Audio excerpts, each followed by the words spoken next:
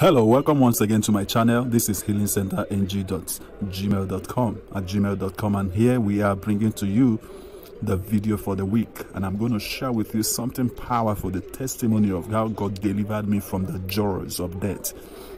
Have you ever had that near-death experience whereby you never knew where you are until you just opened your eyes and saw that people surrounded you and they were like praising God that you're still alive. I've been in that situation. It was a bizarre situation. And I have several of them.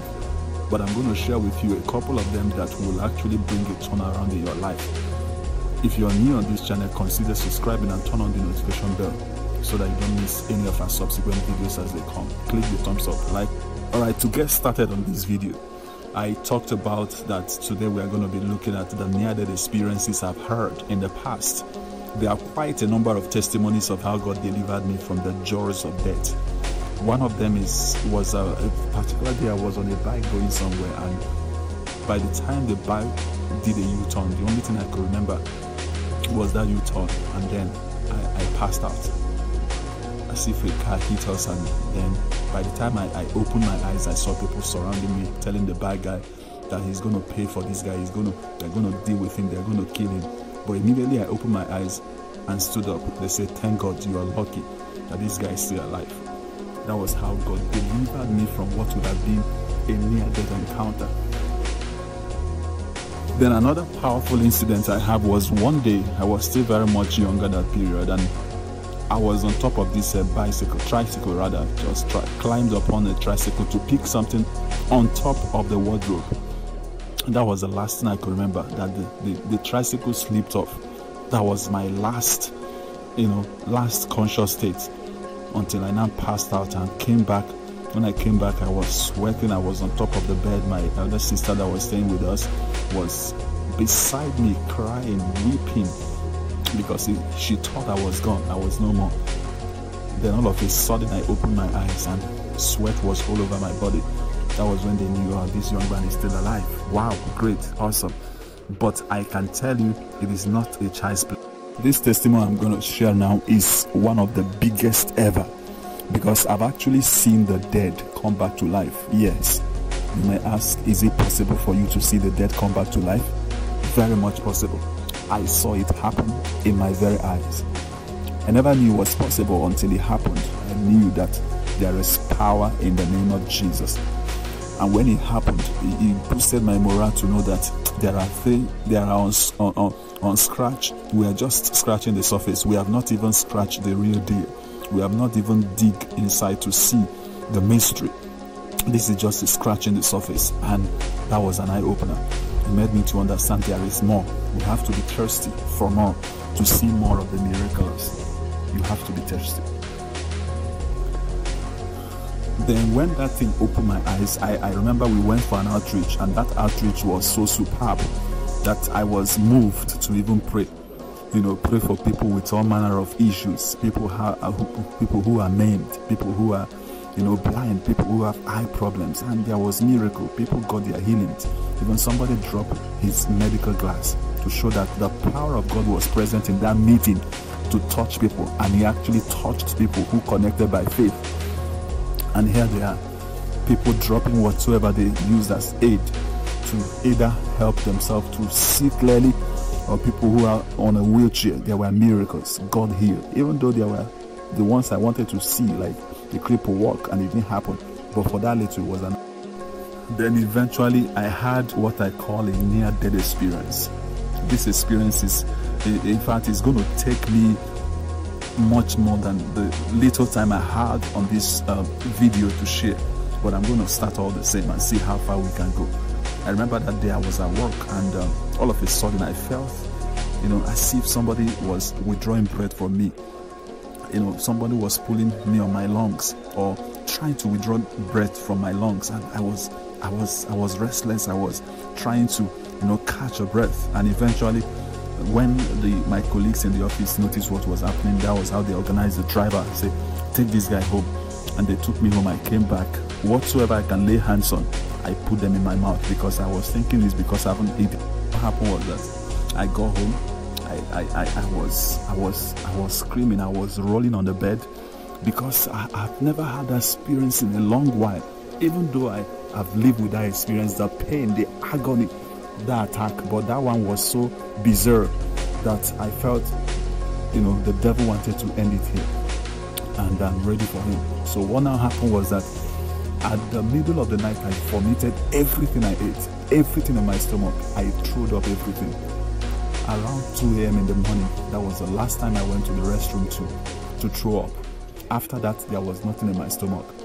When I mean nothing, there, my stomach was practically empty.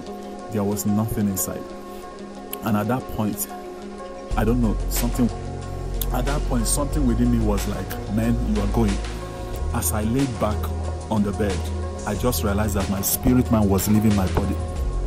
My spirit man was leaving my body. I stood up. I started speaking into the heavens. I said, The spirit that raised Jesus from the dead dwells in me and quickens my mortal body. I and my Father are one. He that is from above is above all. Therefore, I'm above all principalities and powers. I'm seated with Christ in the heavens. I was speaking, but because there was no longer strength in me, I managed to, you know, lay back on the bed again. And the spirit man wanted to leave the body. I stood. I started declaring again, started speaking to the heaven. The spirit that raised Jesus from the dead dwells in me and quickens my mortal body. I was speaking to the heavens. I was declaring every word I have within me. I was speaking it. I said, the spirit that raised Jesus from the dead dwells in me and quickens my mortal body. I was speaking, I was speaking. Why? Because I knew there were power in the words I speak. So I kept speaking. When death was knocking, I was speaking life. I said, The spirit that raised Jesus from the dead dwells in me and quickens my mortal body. I was speaking it. I knew what I was saying. I knew I was fighting a battle between life and death, and I must win. Something within me knew that you're going to win this fight. You're not going to give up. You're not going to let go. And that was the second time I lay back on the you know, on the bed for the third time. And held it what when I laid back again on the uh, on the bed the, for the third time, the spirit man wants to leave my body. I sat up. I knew that if I had laid back again and stayed there, I would be a dead man. I sat up. I put my back on the wall. I started declaring into heavens. I said, The spirit that raised Jesus dwells in me and quickens my mortal body.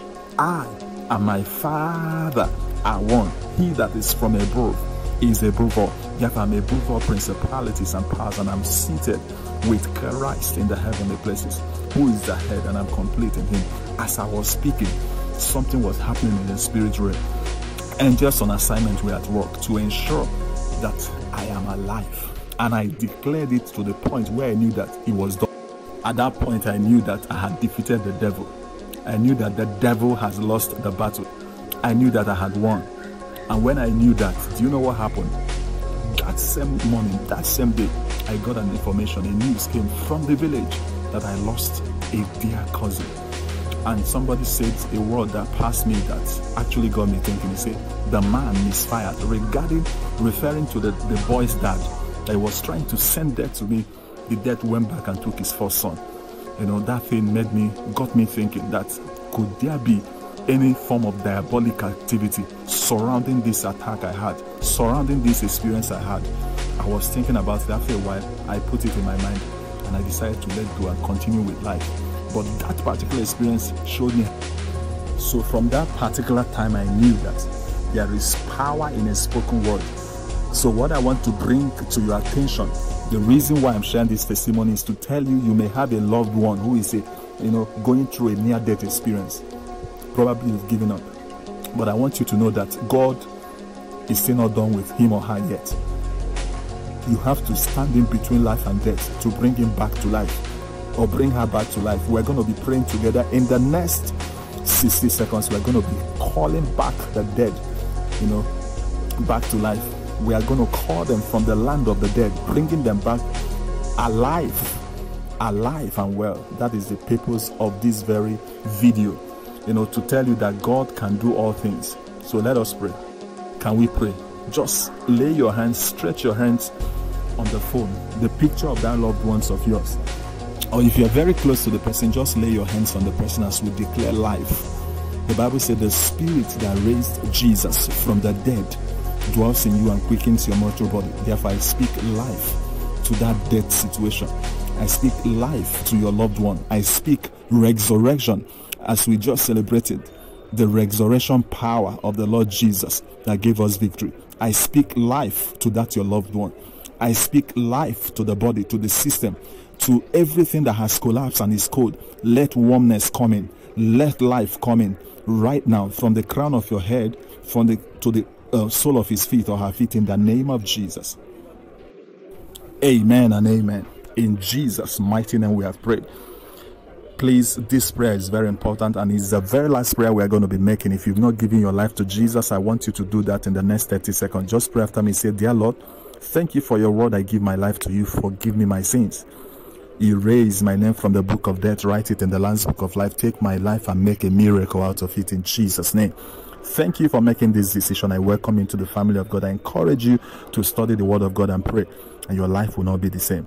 Remember, if you're new on this channel, to subscribe to our video and click the thumbs up button. Share this video with a loved one and let the power of God flow through you and reach to them and bring healing and hope to them. Keep winning and see you in our next video. Bye for now.